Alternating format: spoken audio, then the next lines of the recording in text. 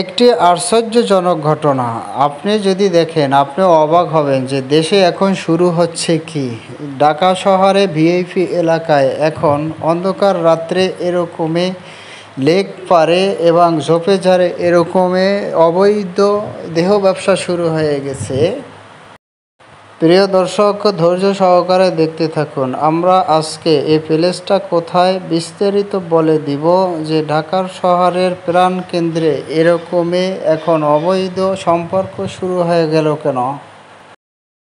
এমনি মানুষ তার নিজের চরিত্রকে কন্ট্রোলে রাখতে পারে না। তারপরে যদি খোলাখুলি প্রকাশ্যে এরকমই দেহ ব্যবসা শুরু হয়ে যায়, তাহলে যুব সমাজ কোথায় যাবে? আসলে আপনারা এখন দেখতে পাচ্ছেন যে এই একটি মেইন সড়ক। মেইন সড়কের পাশেই হলো নার্সারি বেড়া দেওয়া। আসলে জায়গাটা আমরা বলে দিব যে এটি কোন জায়গা?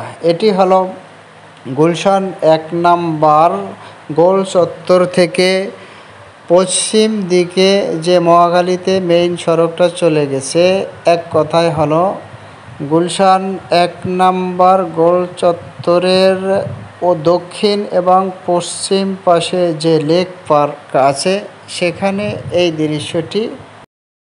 এই রাস্তাটি আসলে মেইন সড়কের দক্ষিণ পাশে দেখা যাচ্ছে যে নার্সারির বেড়া দেখা যায়, তারপরে একটি রং করা ব্যানার দেখা যায়, অর্থাৎ রং দিয়ে অলের উপরে যে বেড়াটা মানে অলের উপরে যে অ্যাডভারেজগুলো দেওয়া হয়েছে।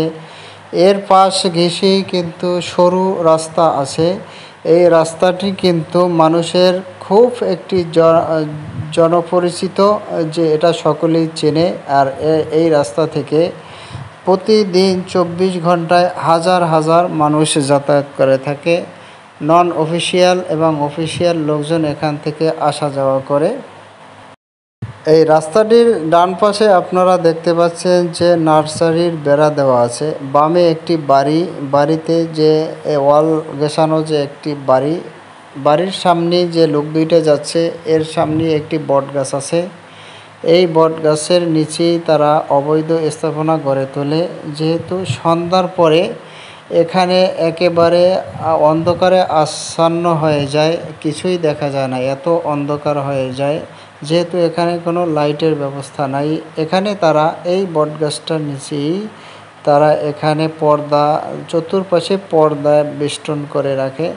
পর্দা বেষ্টন করে এখানে অনৈতিক কার্যকলাপ শুরু করে, অর্থাৎ এক কথায় দেহ ব্যবসা শুরু করে। প্রিয় দর্শক, আপনারা যে পুরা পিকচারটাই আপনারা স্পষ্টভাবে কিন্তু দেখতে পাচ্ছেন।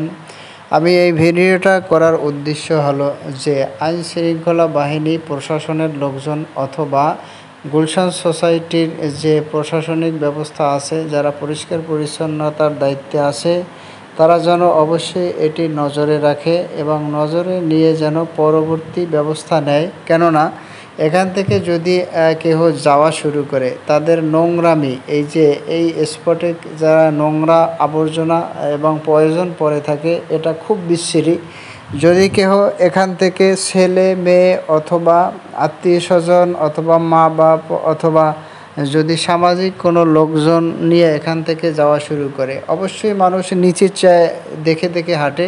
অবশ্যই এই নোংরা পয়জনগুলো যদি মানুষ দেখতে পারে, তাহলে কত বিচ্ছিরি লাগে, খারাপ লাগে। এই জন্যে আমি বলতেছি যে, এই প্রশাসনিক দায়িত্বে যারা আছে অথবা গুলশান সোসাইটির যে কর্ম যারা এই কাজে নিয়োজিত আছে, তারা যেন এটা দেখে এবং এর ব্যবস্থা নেয়।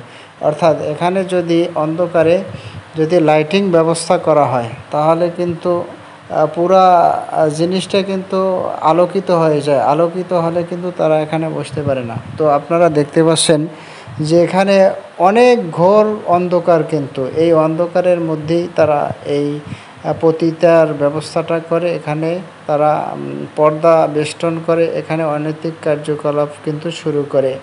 যদি এখানে লাইট দেওয়া হতো, তাহলে কিন্তু তারা বসতে পারতো না। আর যদিও বসে, তারপরে প্রশাসনিক ব্যবস্থা নেওয়া উচিত, অথবা সোসাইটি কর্তৃক তাদেরকে যে এখানে না বসতে পারে, মানুষের চরিত্র নষ্ট না করতে পারে। দেখা যায়, যদি রাতে এরকমে একজন লোক হেঁটে যায়, তাকে জিম্মি করে, মান সম্মান জিম্মি করে তাকে টাকা পয়সা রেখে দেয়, এরকমে ব্যবস্থা করে তারা। এই জন্যে সকলেরই সচেতন হওয়া উচিত যে এই কু কার্য থেকে।